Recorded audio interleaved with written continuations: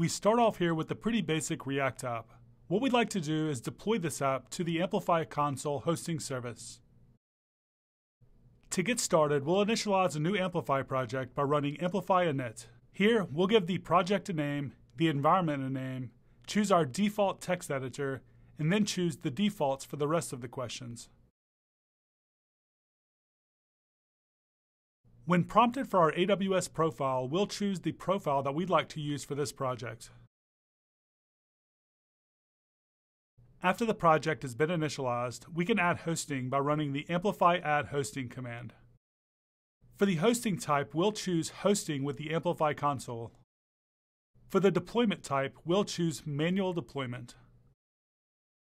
Now everything is ready to go and we can run Amplify Publish to publish our app.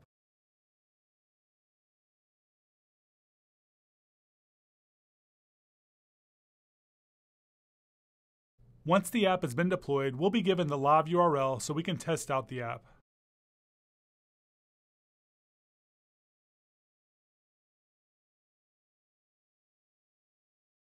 To view the app in the Amplify console at any time, we can run Amplify console from the command line.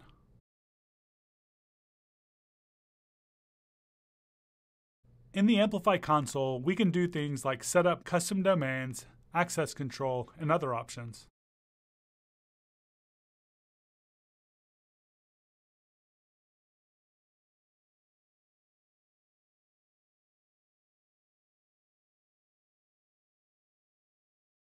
Next, let's look at how to deploy an update. I'll go ahead and open the app in my text editor. Here, I'll add a new heading that says Hello from V2. To deploy the update, I can now run Amplify Publish.